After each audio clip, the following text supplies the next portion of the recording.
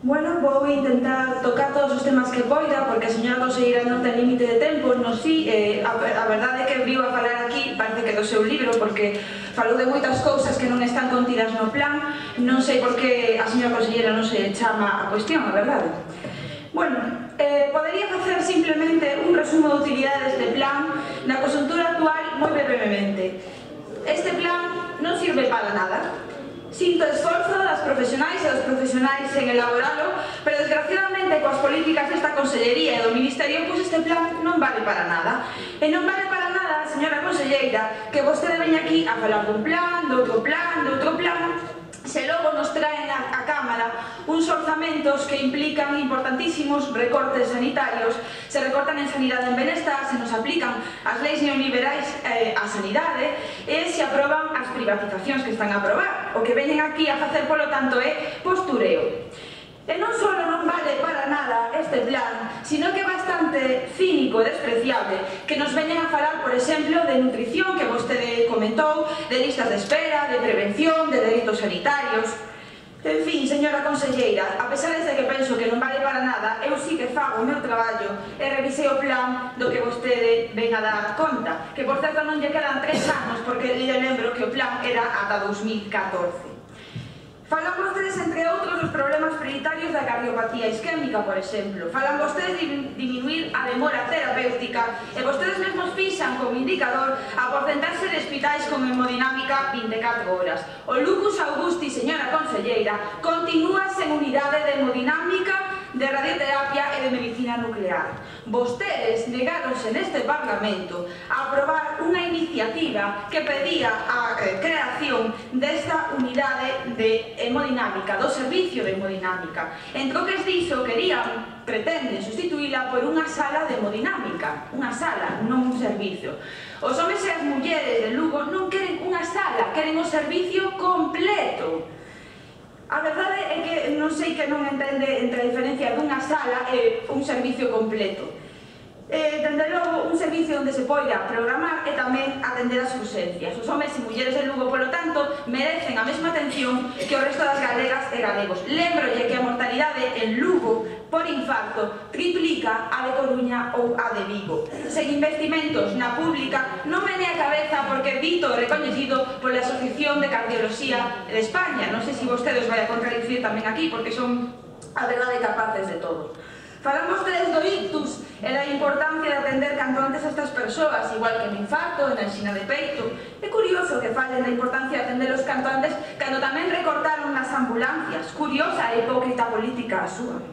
Falan vostedes de diabetes, de formar o alumnado sanitariamente. Que persoal vai a dar esa formación? Non hai enfermeiras nos colexios. E máis, en atención primaria cada vez hai menos porque ademais saberá vostede, a mellor non se entera, que tamén lle siguen aplicando a taxa de reposición do 10%, non se cubren as baixas, non hai OPE, as listas levan dous anos para abrir nese maravilloso Fides do que vostede tanto se gaba. Eu, a verdade, non sei que persoal vai a facer esas ecodoppler en primaria das que falan no plan. O que hai? Pois probablemente que irán iso, porque vostedes o que pretenden é aumentar a carga de traballo sin facer contratación, sin aumentar o persoal. Señora Conselleira, este plan, polo tanto, sin investimento, non vale para nada.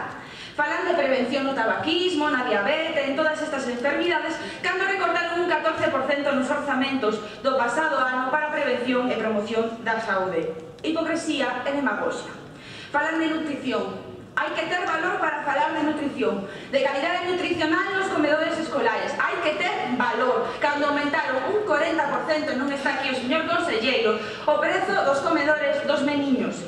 E cando, en moitos casos, estes nenos non poden facer nin tan sequera unha comida decente o día. Non nos veñan a falar de nutrición. E falan tamén de nutrición nas persoas maiores, cando as pensións galegas son das máis baixas. E atención, porque agora nos van a pegar un novo tesoirazo e nos van a deixar tremendo coas contías das pensións. Polo tanto, hipocresía, demagogia e postureo de vir aquí a presentar un plan cando realmente fan todo o contrario. Isto, señora conselleira, non vale para nada. Se queren que a xente coma ben, non recorten os salarios, non recorten as pensións, non faciliten o despido libre, non aprobaran a reforma laboral. É moi fácil vir aquí a falar do que vostedes non coñecen. Falan de facer campañas, de mellorar os hábitos culinarios, que veñen aquí é abrirse, deixan a xente na rúa, sen traballo, sen casa, sen pensións, e veñen aquí a dicirnos que a xente ten que comer mellor porque está aumentando a obesidade. Non teñen vostedes vergoña. Falan de mellorar tamén as listas de espera, esas que vostedes se nenen a facilitar a esta Cámara. Falan de ampliar eh, no plan a oferta horaria para melloralas. Ah, claro, pero oferta horaria con autoconcertación, con eh, chiringuitadas, pagando peonadas a catro amigos. Neste Parlamento, señora Conselleira, non sei se o tempo aí anotado, aprobamos no mes de maio por unanimidade unha proposición non de lei que impulsou o meu grupo para abrir quirófanos e consultas polas tardes, pero enseguida saiu vostede dicindo que iba a ser moi difícil de aplicar. Por aí é por onde se pasan vostedes a democracia deste Parlamento. Cando algo non lles gusta, recurren o que hai dificultades. E xa o colmo do plan son eh, as prioridades do plan, o colmo, son cando falan ou falaban, xa non sei, porque despois de tantos anos e destas medidas que foron aprobando, non sei se ten aplicación, da extensión do aseguramento público a todos os residentes de Galicia, cando saben perfectamente que non é así, é unha mofa. É a última prioridade do plan, busqueo por aí. Hai xente excluída sin ter atención, saben perfectamente que hai persoas que non poden acceder nin siquiera esa tarxeta de beneficencia eh, que vostedes crearon, porque saben perfectamente que hai requisitos para acceder a ela. Hai moitas persoas inmigrantes que non poden acceder ni siquiera a esa tarxeta. Saben vostede tamén que as persoas en teito tampouco poden acceder a esta tarxeta porque, entre outras cousas, non teñen domicilio no que poder, eh, mm, bueno, sabe vostede que unha das cousas que lle solicitan é estar empalgoado e, polo tanto, aí ven un grande problema. Pero para vostedes, as persoas sen teito e as persoas sin recursos, moitas veces, semella que non existen. E máis, importalle tampouco esta xente que non pestañearon nin dixeron nada cando se aprobou o Real Decreto 576 que entrou en vigor a partir desde 1 de setembro e que implica a barbarie aplicada á sanidade. Por que non ven a falar diso? Porque non comparece para explicarnos que o que van a facer.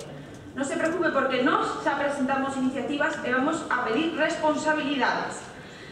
É unha barbarie, é que non ten outro nome, porque pretender cobrarlle 60 euros o mes e 157 euros ás persoas maiores de 65 anos para ter atención sanitaria aqueles que non poden acceder á tarxeta sanitaria do resto das galegas e galegos é unha barbaridade, é cruel e ademais deberá ser antidemocrático. Tampouco nos ven falar de todas as privatizacións que vostedes non cesan de eh, realizar e así día tamén. Raro é o día que non sale algunha licitación dun contrato con unha empresa privada que perfectamente podería estar a levar a cabo a sanidade pública. Vostedes aplican continuamente a Lei 15 barra 97 aprobada coa convivencia dos grandes partidos para ir privatizando.